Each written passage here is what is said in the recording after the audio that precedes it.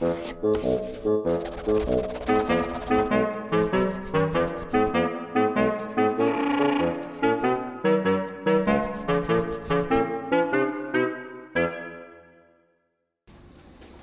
董事长，我想请问一下，说那个热情是一个非常重要的东西，就是靠它去做所有想要的事情。可是，在其实，在热情的时候，也常常会遇到很多困难。那这个热情呢，会被渐渐磨掉。那这时候是否应该去寻找其他热情，或是说坚持下去？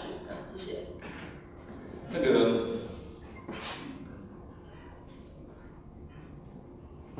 我们随时都会，事实上，那个中文怎么说？人生十十九八九，什么不如意，是不是？十之八九不如意啊！谢谢。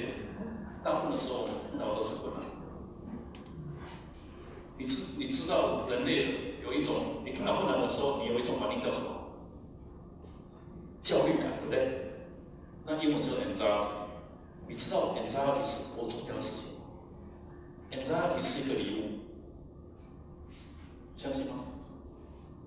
非常重要的礼物。anxiety 越高了，越容易成功。这逻辑很怪怪的，什么怪？anxiety 是是你成功活下来非常重要的一个一个环节。所以，假设你碰到困难的时候，就跟他，你应该什么？跟同学讲，同学不得了，不得了，我有眼罩，不得了，不得了。因为为什么？眼罩你会促使你什么？你刚刚做了哪一个反应？我要继续做吗？你开始问自己问，对不对？我可不可以找其他的方法？你开始要突破，恭喜你。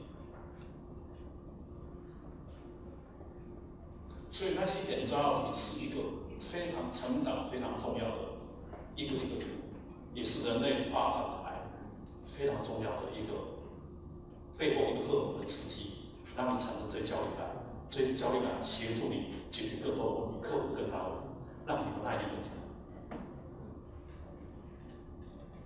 所以，假设你碰到这点焦虑来的时候，人在你是什么？是刺激的反应，很可能可能是前面刺激的反应啊，又是下一个反应的刺激嘛，所以你做出什么决策？所以你会停下来想，给自己一点点时间跟空间，很可能跟你贵人讨论，很可能跟朋友讨论，跟老师讨论，跟自己对话，你的反应没有标准啊，也没有没解，好，只有一件事情。你的决策是你的选择。妈妈替不了决决策，替你决不了。同学，包括你老婆，未来的请客男朋友、女朋友、老师，是你的决策是。假设你在做决策的时候，有哪四大天赋，可能想象一下这件事。我说我那个四大天赋你觉得太复杂了，就用我那个三角形的喜不喜欢，要不要合不合，这个都是问题。你有这个养成的习惯的时候。在你累积经验的过程里头，你会找到说，我做错了，我眼罩又来，我重新又找一个方法。所以，那个眼罩你通常是你做出创意的重要项目。所以我们在教创意的时候，通常会做一个动作，会逼大家有时间压力、资源压力、压力创造出来。我举一个例子，给你三张。卫生纸，给你两次笔，请你设置一个礼物要送给男朋友生日礼物，你说什么做？啊？你一开始管你怎么可能？那我们最要的就是这个也在了，怎么可能？所以你才有机会去产生你的创意。所以，演出来的是一个礼物，同意吗？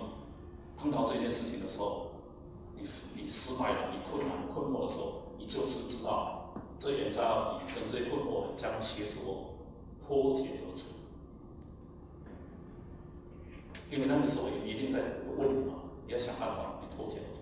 当然有一一一种人，比如说天生他身体有问题？的，有什么心理的问题？障碍，他可能比较困难承受。但是百分之九十九的人，这个都是一个例外。给你们一个。伤害。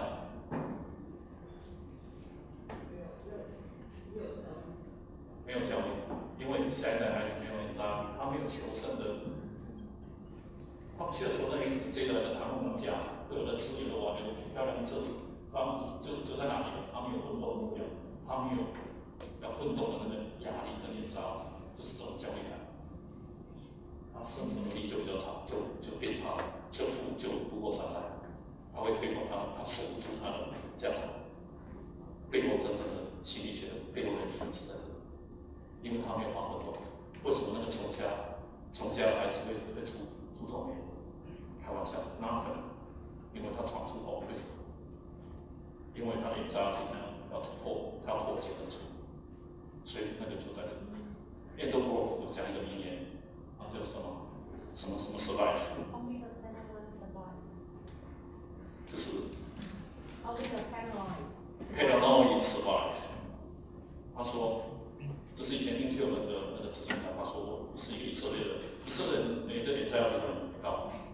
他说佩洛伊，佩洛伊就是这么怎么着？